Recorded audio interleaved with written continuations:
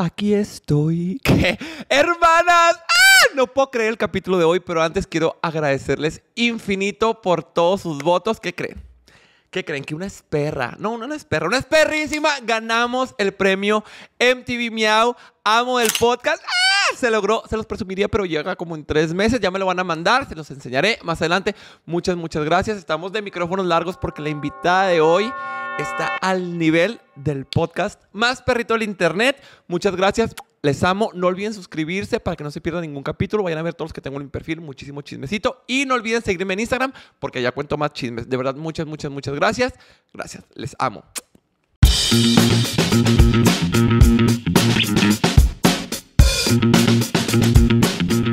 Muy buenas noches. No puedo creerlo. De verdad, no puedo creerlo que estoy a punto de presentar a quien voy a presentar el día de hoy. Este podcast ya pasó a otro nivel. La gente que me sigue hace años sabe lo que esto significa para mí. Me están sudando las manos, estoy temblando, porque tenemos a nada más y nada menos que a la hija de mi gran señora, de mi patrona de patronas, a Jackie Rivera. Muchas gracias, muchas gracias por tenerme aquí, por invitarme y por el amor que le tienes a mi mamá. Realmente Demasiado, muchas demasiado. gracias. La gente que me sigue no me dejará mentir que todo el tiempo estoy de que si Jenny Rivera me lo permite. De hecho, hay un video viral que yo me peleaba con mi mamá porque yo tuve un accidente de carro y mi mamá me decía, no, pues fue gracias a Dios. Y yo, no, fue gracias a Jenny Oh, Rivera. te está cuidando. Sí, a me mí está también. cuidando. Cuando me peleo con alguien y me dice, pues, que Dios te bendiga. A mí no, No. me bendice más que Jenny Rivera. No, muchas gracias. Gracias, de verdad, muchas, muchas gracias. Estoy muy contento. El día de hoy queremos platicar, como conglomerar toda tu parte de la historia. Cómo fue que tú como, como hija viviste todo este suceso tan trágico que al día de hoy recordamos con mucha tristeza, pero a la vez con mucho cariño por toda la historia y el ícono que se volvió tu mamá. Entonces, quiero que nos platiques cuántos años tenías en ese entonces, cómo te enteraste, cómo fue y luego ya iremos indagando un poquito más. Ok, está bien. Iba a cumplir mis 23 años. ¿Ok? Falleció. No, ya, ya los, los cumplí, mis 23 años, y como unas dos, tres semanas después falleció, el 9 de diciembre. Am, Del 2012. Desde el, del 2012, sí.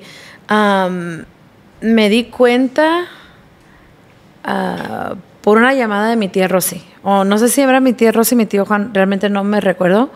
Am, pero dijeron, no dejes que Johnny esté en sus redes sociales. Él es- usualmente no estaban conmigo porque yo ya estaba casada, me casé ese mismo año. am, como unos tres o cuatro meses antes de que falleciera mi mamá, me casé. So, yo ya estaba fuera de la casa. Am, pero veníamos el sábado de una boda de una prima de Las Vegas y tenía a mis dos hermanos menores, Jenica y Johnny.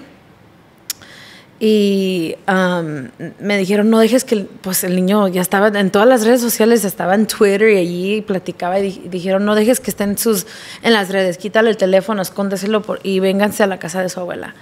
Am, y yo, pues, ¿qué está pasando? Y, y digan, no mires al celular, no mires al Instagram, nomás vete a la casa de tu abuela. Me dijo, ok, está bien.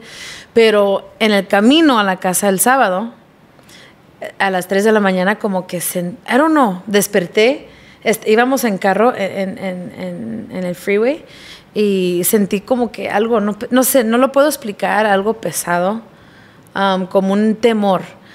Um, íbamos manejando y había mucho, mucha nublina, casi como que no podías ver el carro enfrente de ti. Y yo sentí, pues a lo mejor por eso tengo miedo, por eso no puedo descansar.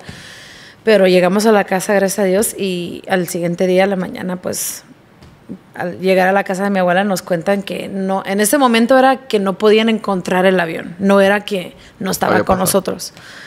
So, para nosotros no fue una realidad hasta el miércoles, um, porque dijeron no, ya no va a regresar, pero esos domingo, lunes, martes fue como que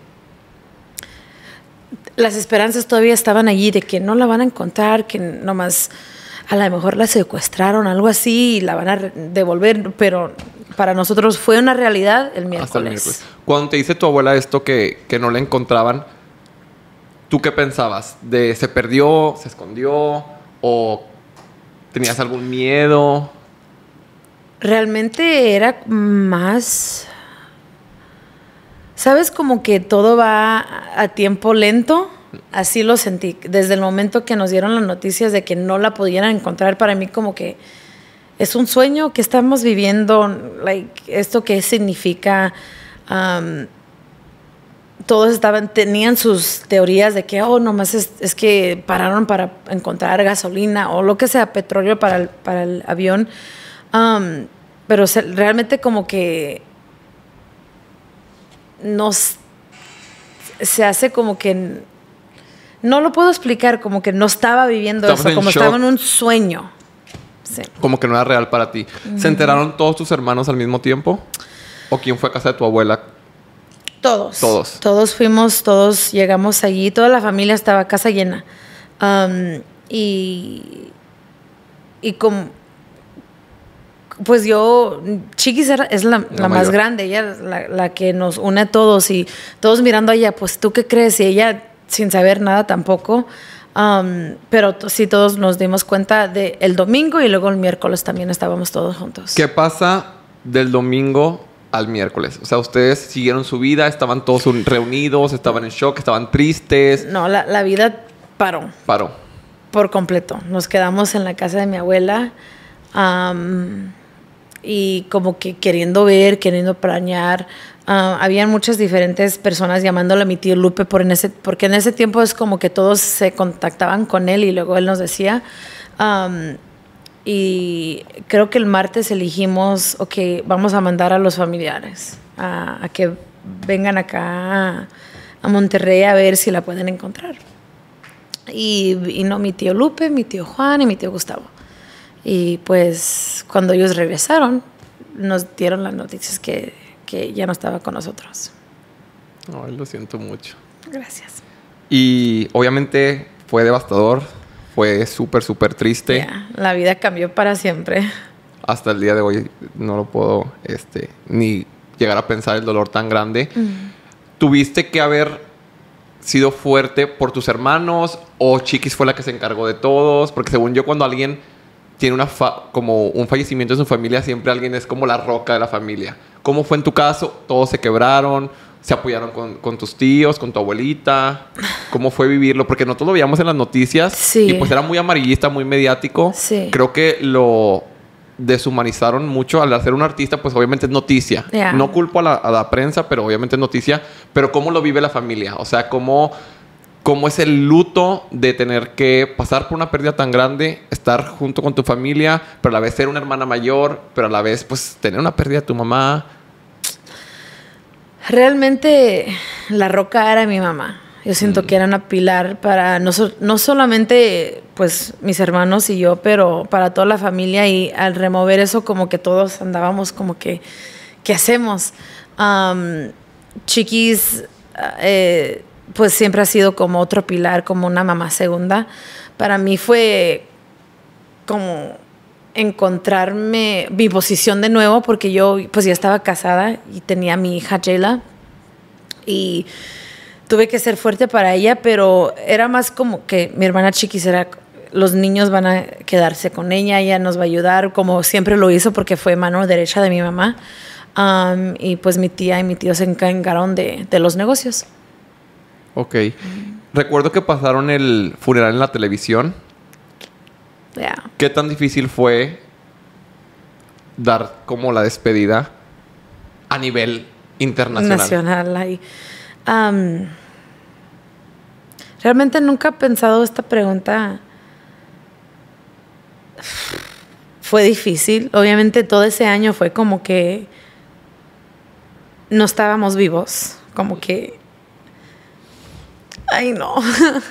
como que no sabe, no, nomás teníamos que mover y seguir moviendo, pero a la vez sentíamos como que teníamos que pues darle eso a sus fanáticos porque ellos la hicieron y le gusta ella le gustaría nos gustaría ella yo sé que si ella estuviera pues lo hubiera hecho así igual um, pero personalmente como que paró la sanidad interior como que nos puso un pause porque estábamos es trabajo a la vez Um, no hay ningún um, cómo se dice regret Arrepentimiento. no hay ningún arrepentimiento porque Lo hicieron por el legado por, de tu mamá. sí, por el legado, por el amor um, hacia, sus- hacia sus fanáticos, pero sé que pues ya pasar por, por algo tan difícil, privadamente es difícil, pero públicamente es como 10 veces más difícil. Claro, y más porque creo yo que al ser ahora sí que artistas y figuras públicas, la gente pues espera saber todo.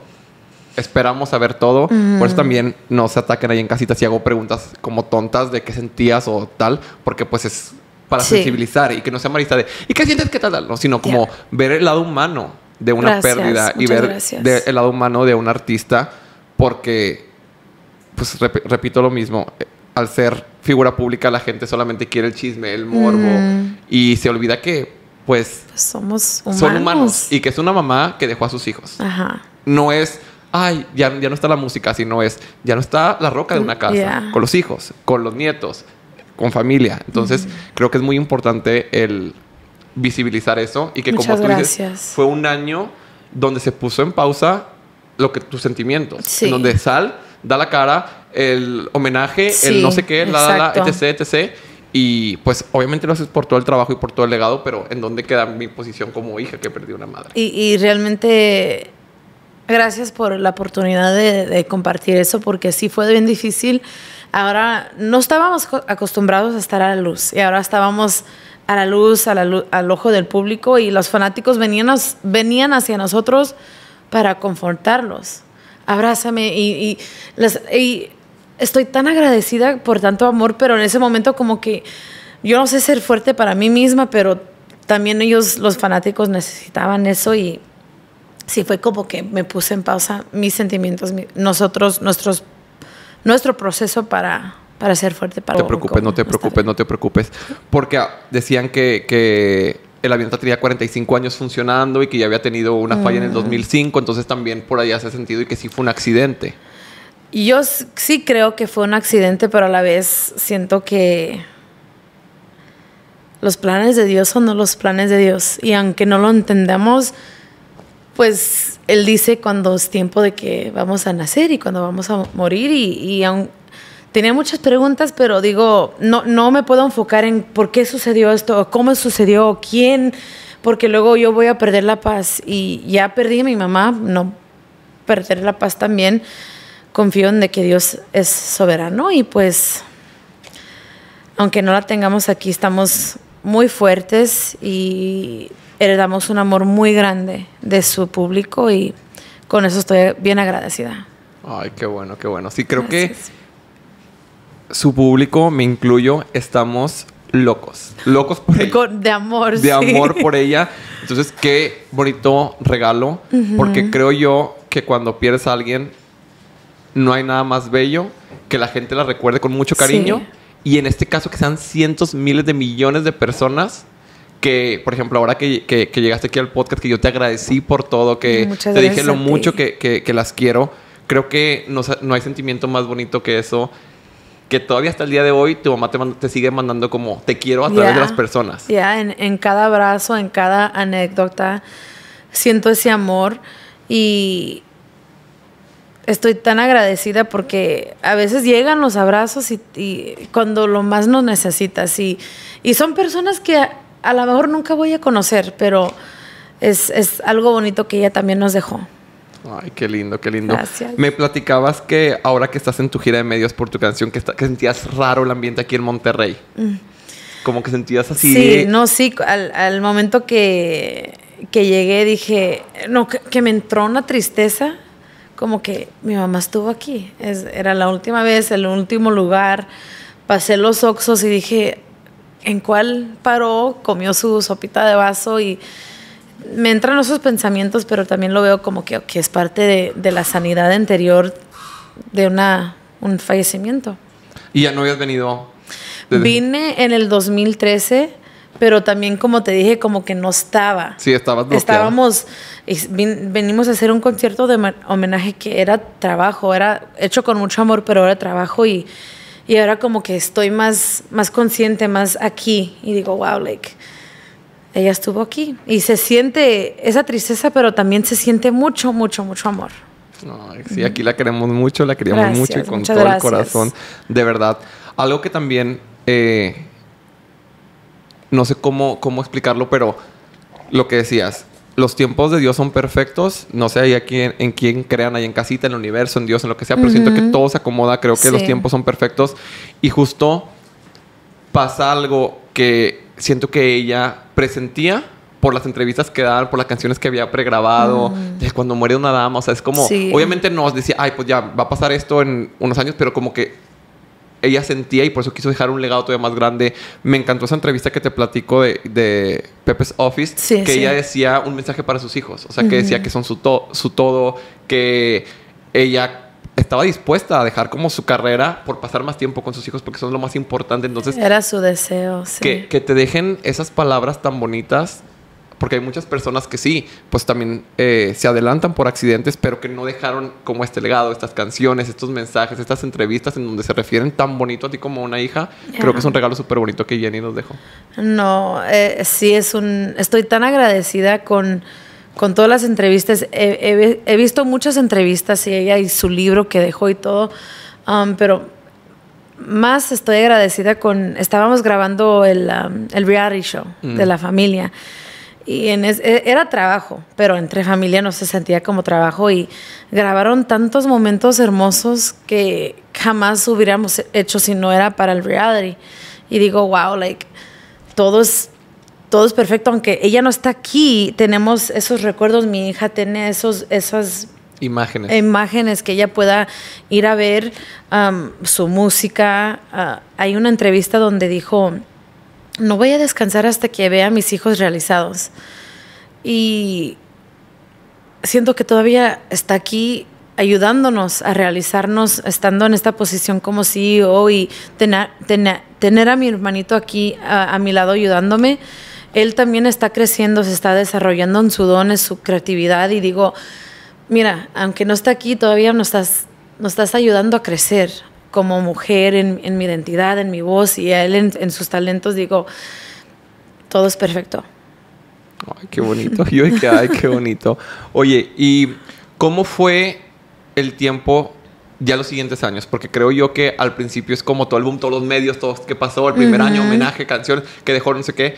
Pero siento yo que lo más difícil es cuando ya pasa todo ese Ya ojo del huracán y ya se sí. calma, vuelves a tu casa, te sientas y dices, madre, es que acabo de vivir. Ya, como que tienes que encontrarte de nuevo. Eso es- siento lo que pasé, pues obviamente yo tenía mi matri- matrimonio, mis hijos, Um, pero sentí como que, pues, ¿qué hago con mi vida? Like, what's next? ¿Qué, qué, qué es lo que sigue? Y siento como que to- todos, no solamente yo, pero todos, la familia, tuvimos que pasar eso, como que, pues, ¿qué sigue después de Jenny? Como, ¿qué, ¿para qué nací yo? ¿Para qué, qué, qué puedo hacer? Y, y creo que todavía lo estoy haciendo, pero, I mean, no sé. Creo que ya pues les dejó un- un- una guía de con la música. Ahora que Sí. tiene este nuevo sencillo que ahorita hoy lo pusimos antes de que vinieras. Este, no, nada más con el puro intro ya estaba llorando. Ah, las Demasiado, palabras que dijo, sí. esa también es una bendición por el- escuchar eso al- y trabajar en el disco y en la canción como que, ay, lloré mucho, pero fue también proceso de sanidad. Claro, y aparte, vuelvo a lo mismo. O sea, son demasiadas eh, coincidencias o demasiados regalos Sí. para ustedes y que ustedes al día de hoy pueden tenerla presente. O sea, ¿quién se iba a imaginar que ustedes iban a estar sacando ahora este disco, pero también en compañía con su mamá? Sí, era, no fuera el plan. Para nosotros el, el plan era de que el disco completo iba a ser para Jenny, misión cumplida. Um, teníamos mucho tiempo sabiendo de Pedacito de mí um, y era la única canción que mi mamá dejó um, sin terminar.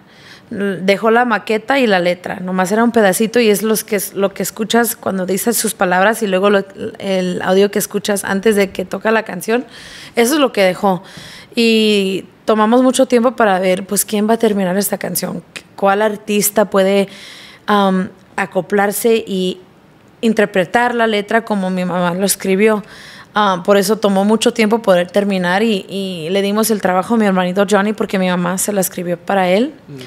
Y él al final decidió, pues, no hay nadie más que mis hermanas que lo pueda entender, interpretarlo como ella y Estoy tan agradecida que él decidió eso. Chiquis me acompaña um, y luego mi hermanita Jenica que hace las armonías. Y también eso fue como un... Me sanó mucho el corazón. Lloré cuando estábamos grabando porque al escuchar la letra lo canto como hija, pero a la vez lo entiendo como madre. Ahora que estoy en esta posición y tengo que pasar tiempo sin mis hijos y yo crecí, pero bien como mm, rebelde un poquito um, y juzgaba a mi mamá. Será? ¿Y yo por qué? ¿De dónde habrá salido? La hija de Jenny Rivera rebelde, ¿ustedes creen? no, pero le hice la vida muy difícil a mi mamá, más porque la juzgaba. Yo pensé, pues yo sabía más y, y, la juzgaba porque era madre soltera o porque no estaba, estaba trabajando mucho y al cantar esta canción ahora la puedo entender como que entiendo el sacrificio que, que tuvo que hacer para sacarnos adelante y, y pues fue bendición poder ser parte de esta canción porque me sanó mucho a mí, pero también pudo como que entre nuestra relación también. Sí, vayan a escuchar la canción. Eh, habla como de. Ahorita vamos a cantar un pedacito. Ok. Sí, o de una claro vez, de una vez sí. para platicarles como de qué trata un poquito. Ok. Ay, voy a ver si no lloro. Ahí, ahí les va un pedacito de, pedacito de mí. Pedacito de mí, lo que pasó no es culpa tuya, te quiero a morir. Mi gran tesoro, yo te adoro, vivo para ti. Eres mi sangre, soy tu madre, estoy aquí. Pedacito, pedacito de mí. Thank you, muchas gracias. Se me fue la piel chinita, la misma voz. De verdad, no puedo. No, de verdad.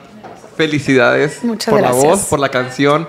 Esa era, es como súper sentimental porque decías que la entendías como hija y también ahora como madre. Como madre, Porque sí. habla como de mamá, quiero que te quedes más tiempo conmigo, quiero que te quedes a jugar, pero también le dice, pues tengo que salir a trabajar Sí. porque sí, lo sí. hago por ti. ¿Qué mensaje te gustaría como compartirle a las personas que puedan estar pasando por algo que tú viviste? Ahora que ya sanaste hasta cierto punto y sabes que es algo que no se termina de sanar, pero que ya lo ves, pues, tantos años después. Ay, am, pues primeramente me gustaría que no solamente es mi mamá, la única madre soltera en todo el mundo y la única madre que tiene que salir a trabajar, también incluso los papás que sacrifican mucho, mucho, mucho. Y creo que como, como hija vemos, pues nunca, nunca hacemos esto y esto y esto, pero no vemos lo que sí se hace. Y empieza como un- algo, una dificultad entre la, la relación y para mí hay muchas relaciones quebradas entre padres y hijos.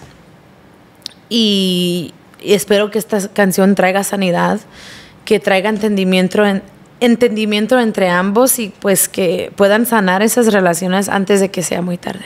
Ay, qué bonito. Sí, creo que es muy importante justo eso que mencionas. Y ahorita que estabas diciendo eso, que cómo juzgamos los hijos a los papás sin saber que todo el sacrificio que hacen es meramente para nosotros. Sí. O sea, yo también me pongo a pensar en mi casa como mis dos papás trabajaron de... Ay, voy a llorar, no puedo creer. sí, mis papás también trabajaron toda, o sea, toda la vida y pues nos tocó estar solos como hijos mucho tiempo. Sí, de repente había gente que nos cuidaba, pero ya como en la pubertad nos tocaba estar solos. Y Sí. mi mamá siempre nos platica que mi hermano y yo llorábamos de que no vayas a trabajar, no vayas a trabajar, no queremos Sí, estar.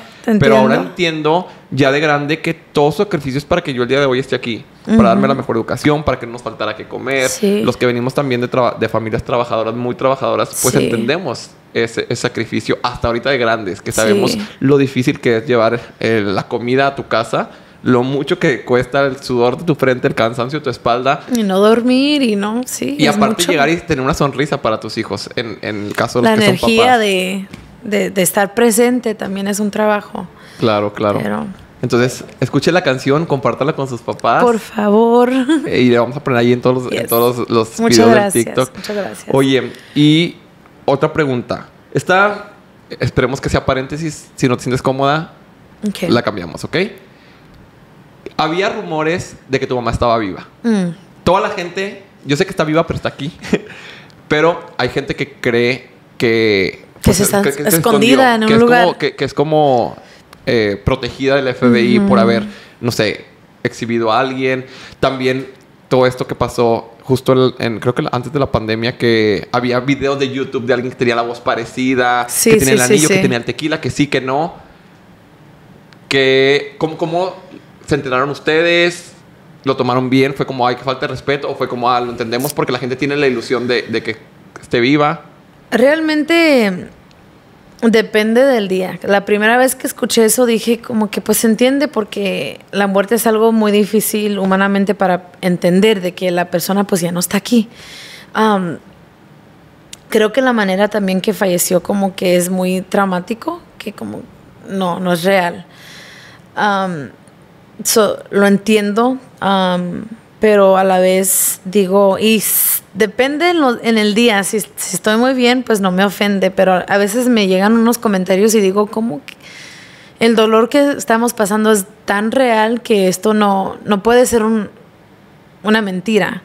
Am, yo no creo que... Mi mamá le encantaba ser madre, pero le encantaba más ser abuela y incluso nos peleábamos a veces porque siempre me chiqueaba mi niña y digo, no, no puedes hacer eso, le decía.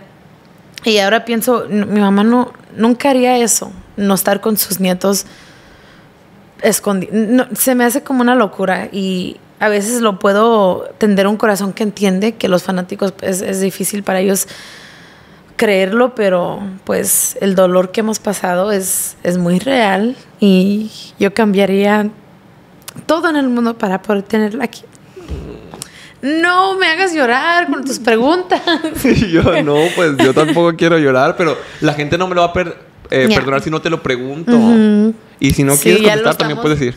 Ya lo estamos aclarando, aquí porque sí, me- la- esos comentarios me llegan todo el tiempo y como que no entienden. ¿Y cómo, de, cómo grabó este disco si, pues, dejó música grabada? No es que está aquí para grabarlo y lo estamos, you know, sacando Sí, nosotros. además creo ¿Me que entiendes? sería ilógico si, si estuviera escondida, no, no sé, voy a grabar un disco y que lo saquen. No, sí. Porque no daría señales, ¿estás de acuerdo? O ya, pero creo- a veces, no, a veces la gente no entiende eso. que- No, que pero es- también creo que mucha gente viene desde el cariño, como de que aferrarse. Sí.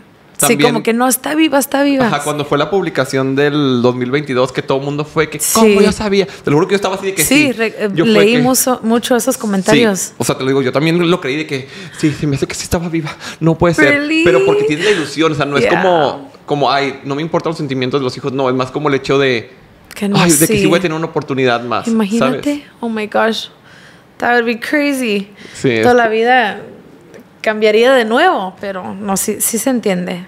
Claro, claro, claro. ¿Cómo eh, pasa esto con, con tu familia nuclear, pues, o sea, con tus hijas, etcétera? Sí. Eh, ¿Se enteraron a cierta edad? ¿Tú les dijiste cuántos años tenían? ¿O o ya grandes?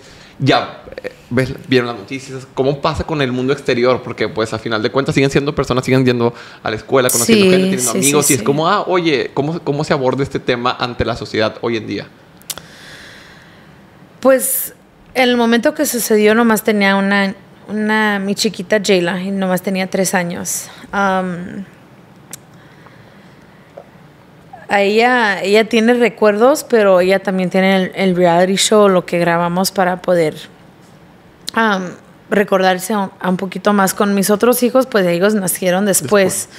Y yo nunca decía nada como que lo dejaba bien, pero ya a cierta edad ellos piden, pues, ¿por qué tú no tienes mamá? Me decían.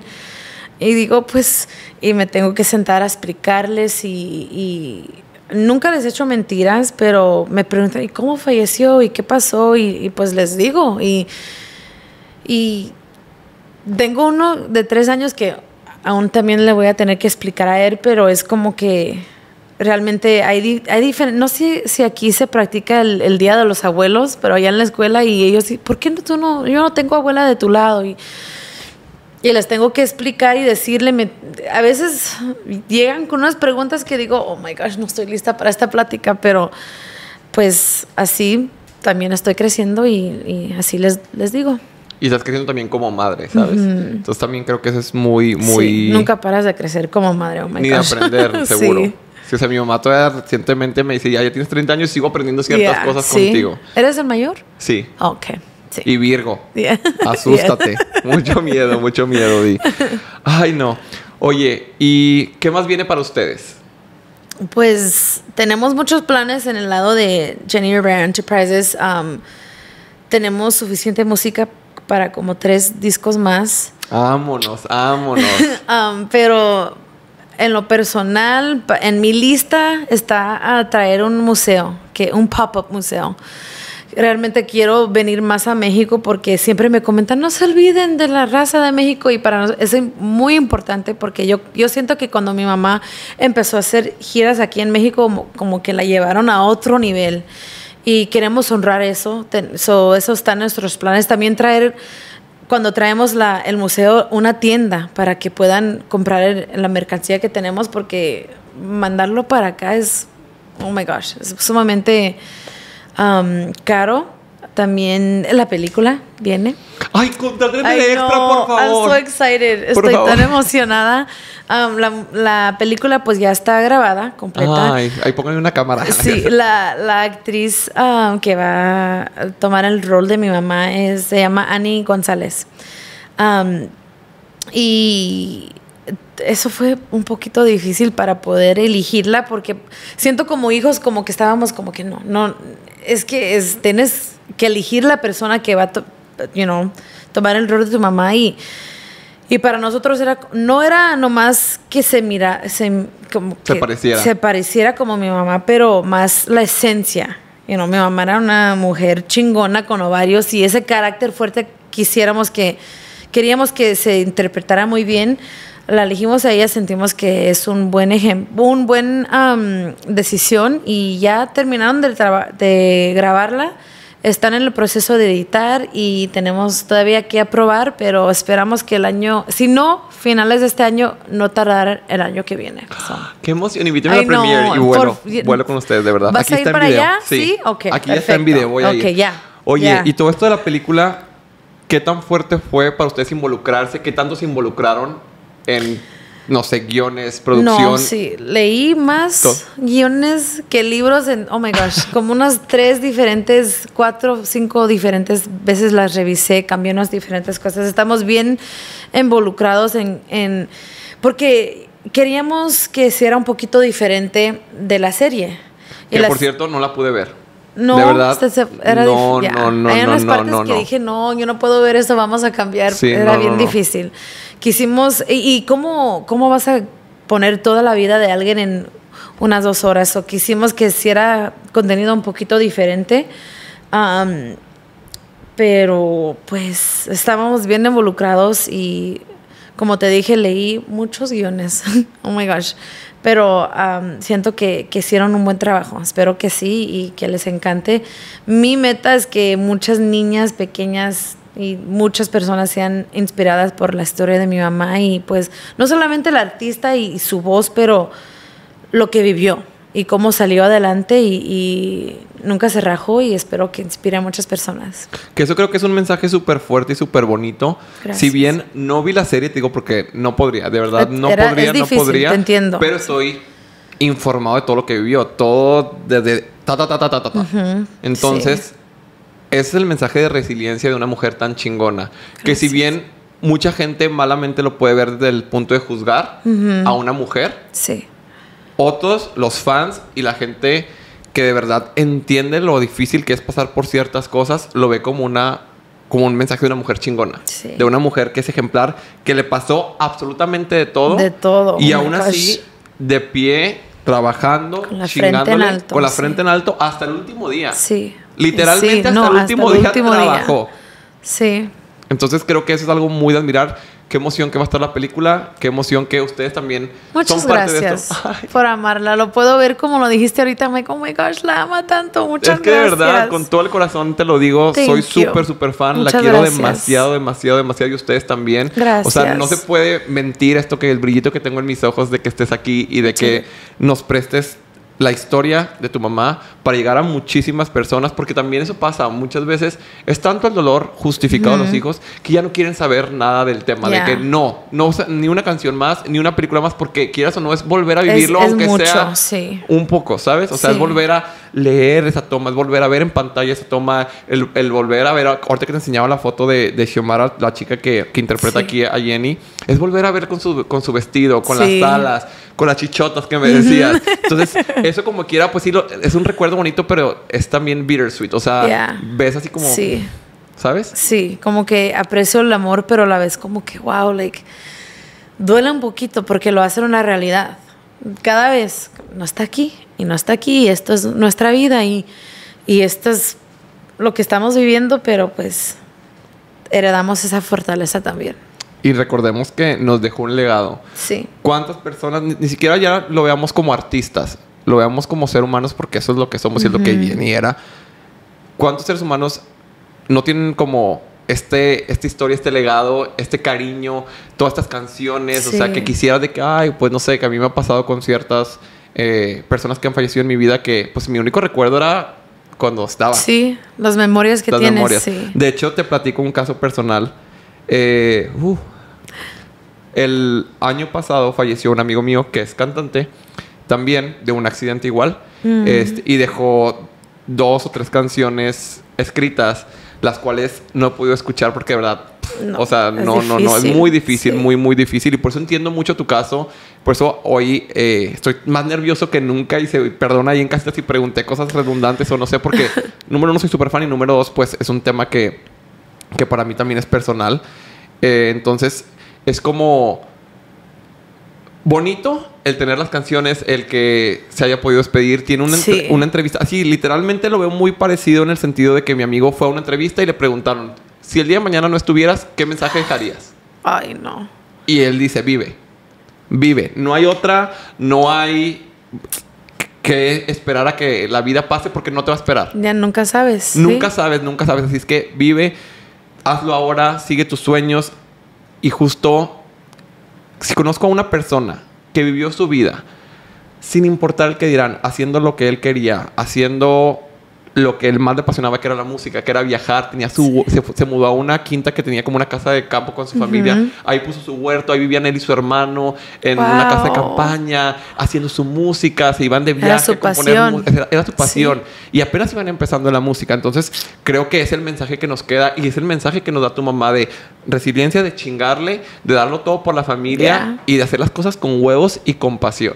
No, sí, estoy más que dichosa que esa mujer fue mi madre, porque tengo ese ejemplo. Yo vi- vivo, vivía con mucho temor y como que no quiero vivir a, a la- como detrás de las cámaras, pero tengo ese ejemplo y digo, no, yo, yo también tengo que salir adelante con lo que Dios me ha puesto a mí y, y no, dejar el, no dejar las excusas, el temor, you know, robarme esa bendición. Ay, So-. Gracias por compartir, compartir y abrir tu corazón. No, gracias a ti, de verdad. Estoy muy, muy contento que estés aquí. Cuenta conmigo también para el Pop-Up Store. No, sí. ya viste claro cómo sí, está aquí la favor. oficina y que hacemos todo bien bonito. Soy súper bueno organizando No, eventos, conv- convocando masas. sí. Entonces, cuenta conmigo lo que necesiten Para el de verdad. marketing staff, también.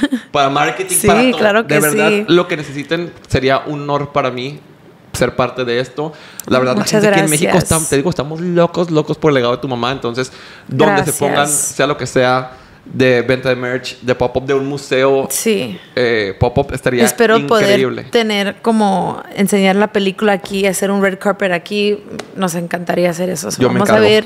Yo me ya, encargo. ok, ya dijiste. Ya todos mis ya amigos influencers. Mucho trabajo que hacer. Cuando les conté a mis amigos eh, influencers en Close Friends de que voy a grabar con Jack, todos de que no, graba videos, mándame saludos, invítame. Y yo de que perdón, no puede ser. Tiene que ser trabajo serio, punto y aparte el fan. Entonces, de verdad, la premier, cuenten conmigo. Ok, gracias. Con toda la gente que me sigue. Te lo juro, tengo un, un canal de difusión en, en Instagram que es como los VIP, así les digo yo a Ajá. mis más caninas. Y les conté y estaban, me mandaron un voice note llorando de que yo sé lo que esto significa para ti, sé lo que significa para tu Sí. podcast, de que es una meta que, ahorita antes de que vinieran les dije a los productores, para mí ya no hay nada, o sea, ya. Para mí es full circle. O sea, que esté esto aquí, ya. Oh Ya my gosh. se dio por bien sentado No. porque este podcast yo lo empecé dándole la voz a mujeres que habían pasado por algo difícil, que al principio eran mis seguidoras. Ya Sí. ahorita se, se convirtió como en artistas, en influencers y demás. Al- quiero volver a lo del inicio y que siempre sea como diferentes historias. Pero ya tener esta historia que para mí es la más fuerte y la más bonita y contada de, de, de tu, de tu voz, de tu propia experiencia, creo que ya es como así. Full circle. Full Pues circle. muchas Aparte ganamos- gracias. acabamos de ganar un premio en MTV al mejor podcast. ¡Ah! ¡Felicidades! Entonces, con That's esto, fum, amazing. fum, fum. Entonces- Hay mucho más para ti.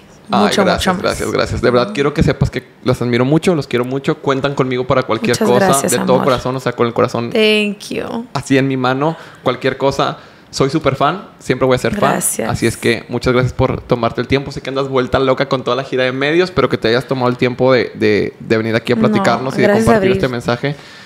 Significa demasiado para mí y me lo voy a llevar siempre, siempre, siempre en mi corazón. Cuando esté viejito voy a decir, "Ah, lo logré y vino a mi podcast, no, de verdad. No, y muchas gracias a ti porque este, aunque fue plática un poquito difícil, es, trae sanidad y poder hablarlo más, pues muchas gracias por abrir tus puertas y por tenerme aquí, ese amor que le tienes a mi mamá y que le damos nosotros, muchas, muchas gracias. Muchas, muchas gracias. Y como le digo a todas mis invitadas, yo sé que es un tema difícil. Ujú. Yo sé, yo sé, pero que sepas que le va a ayudar a muchas personas. Espero que sí. A muchísimas personas, a muchísimas madres, como tú, muchísimas hijas que han pasado por este duelo, que Sí. al día de hoy lo siguen teniendo o ya lo están sanando. Sí. Escucharlo de tu voz a muchísimos fans también nos va a servir demasiado. Entonces, gracias por ser tan valiente. Gracias, por abrirnos tu corazón. Repito, sé lo difícil que fue y por eso significa el doble para mí. Muchas, Thank muchas you. gracias. De Te quiero un abrazo. Sí, claro. De verdad. Muchas, muchas gracias. Ay, sí, por favor. Adóptame, adóptame. ¿Ya terminamos? Ya, ya, ya, nomás vamos a despedirnos. Gracias por estar aquí una semanita más. No olviden suscribirse para que no se pierda ninguna historia, ningún chismecito, ninguna anécdota. Gracias, de Gracias verdad, a ti, gracias, amor. gracias, gracias. No puedo dejar de decir gracias. Soy tu fan, soy su fan de toda la familia. Los quiero Gracias. mucho y les mando un besote. Nos vemos próxima semana, misma hora, mismo canal.